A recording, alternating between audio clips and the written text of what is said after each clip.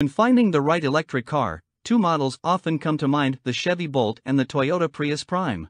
These two cars offer drivers a range of features that make them both attra, attractive options for those considering going green. But which one is best for you? The Toyota Prius Prime is the clear winner in this comparison. It offers a more efficient motor, longer range, and better fuel economy than the Chevy Bolt. In addition, it comes standard with an abundance of safety and driver assist features, whereas many are optional or only offered as part of higher trim packages with the Bolt.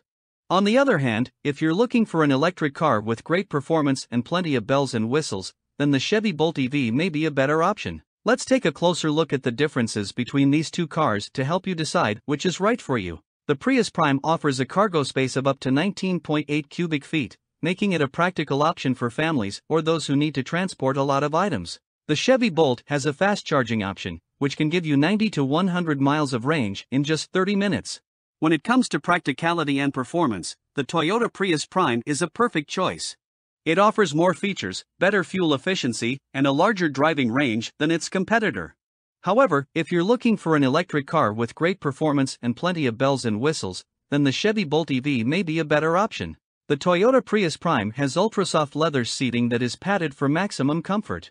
The Chevy Bolt EV has a minimalistic interior layout with clean lines and a sleek dashboard. It also has a built-in infotainment system that includes Apple CarPlay and Android Auto, as well as Wi-Fi connectivity. Ultimately, it comes down to your preferences and needs.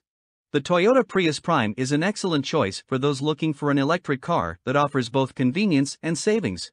While the Chevy Bolt EV is a great option for those looking for performance and advanced technology. That's it for today's episode of Axlewise. Don't forget to subscribe and keep revving those engines.